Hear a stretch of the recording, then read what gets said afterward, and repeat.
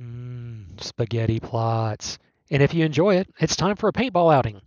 The spaghetti plot was probably the earliest method to display uncertainty in ensemble prediction systems by taking one or more specific contour value or values, such as 500 hectopascal geopotential heights, plotting those on a map, and then reviewing how the uncertainty evolved through a given forecast period.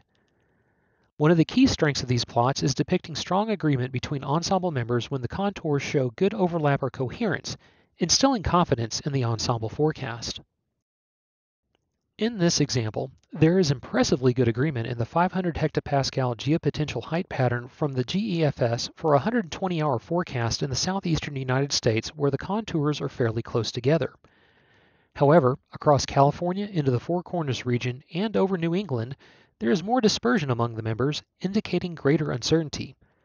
Fast forward to the 240 hour forecast. It looks like I just threw spaghetti all over this image. Once those contours become too jumbled or appear as if someone forgot to mix the spaghetti and got it all tangled, it becomes very hard to figure out what the potential pattern could be for this forecast hour. Paintballs are a more recent and related plot for ensembles. Instead of plotting contours on a map, Plots of shaded thresholds for each ensemble member are made and overlaid on the same map. Some plots will have transparency on the paintballs to see multiple layers over the same point, while others do not have transparency and make it a bit more difficult to visualize what's going on.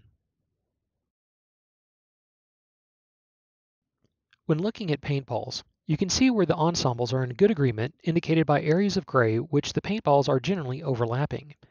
This is 10 minutes into a Warn-On forecast run, so we expect that there should be good agreement between ensemble members. However, we're already starting to see some areas where there is much more variability because you can pick out more of the individual colors. Moving forward in time, you can see that the Warn-On forecast still has some good agreement in some areas, while other areas indicate considerable variability in the ensemble members.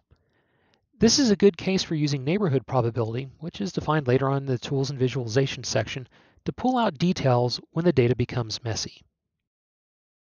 And that's what the pitfalls are for both spaghetti plots and paintballs. At longer time ranges with much uncertainty, spaghetti and paintball maps can become unreadable. For something like Warn-On Forecast, you can have multiple storms evolving in different ways while they end up at the same location. It would be very hard to connect the meteorological processes in the ensembles to the output because it's hard to track where each ensemble member corresponds to which contour or paintball.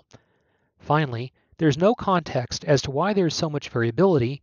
You would have to go in and look at other products to diagnose why there is variability.